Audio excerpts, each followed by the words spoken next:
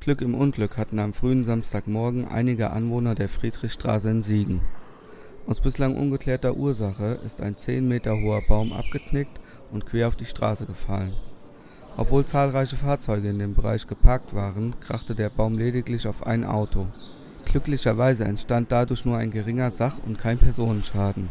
Die alarmierte Feuerwehr zerschnitt zunächst den Baum, konnte ihn aber aufgrund der Größe nicht vollständig entfernen. Hierfür war eine Fachfirma mit schwerem Gerät notwendig